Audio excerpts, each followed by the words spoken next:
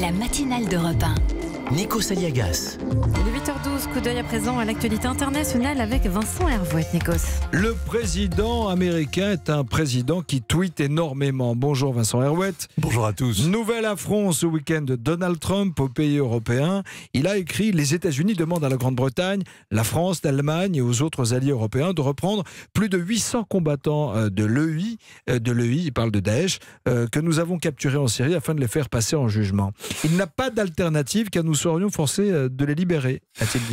Oui, alors que ses ministres et généraux tergiversent, eh bien dans son canapé qui est planté devant Fox News, Donald Trump s'impatiente et son raisonnement, c'est vrai, il est simple comme un tweet. Le califat est liquidé, chacun doit rentrer chez soi. Les 2000 Américains à la maison, l'armée de Bachar el-Assad dans la province du Nord et les djihadistes d'où ils sont venus. Donald Trump ne voit pas pourquoi il paierait plus longtemps les peshmerga pour qu'ils nous servent de garde-chiourme dans un Guantanamo provisoire. Faucon, yaka. Et c'est là qu'on réalise que la guerre civile est la pire des guerres jusque dans l'après-guerre. Tant que les djihadistes sont au combat, on les écrase. Mais quand ils sont prisonniers, la légitime défense cède la place à l'état de droit. Plus question de kidnapper un terroriste, il doit être livré dans les formes par un État souverain. Or, il n'y a pas d'État kurde. Ramener les djihadistes est juridiquement complexe, politiquement sensible, électoralement dangereux et sur le plan moral aussi. C'est une épreuve à laquelle les Européens ne sont pas préparés. Mais pourquoi donc? Bien, les soirs d'attentats ont dit que la France est en guerre, mais c'est pas vrai. Où sont la censure, le couvre-feu, le rationnement, la mobilisation générale, l'effort de guerre? En Europe, on cherche en vain une nation en guerre. Prenez le Royaume-Uni.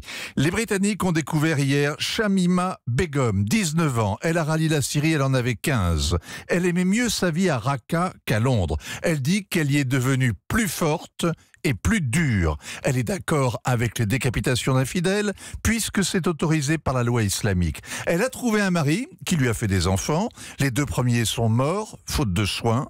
Hier, elle a accouché du troisième. Elle demande de la compassion pour ce qu'elle a vécu. Elle veut rentrer.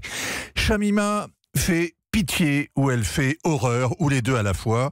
Mais personne n'envisage de la tondre. Son retour sera celui de la femme enfant prodigue. La guerre, c'est la loi du talion qui s'applique aux terroristes. Mais l'après-guerre, c'est l'affaire des juges contre les ennemis du droit.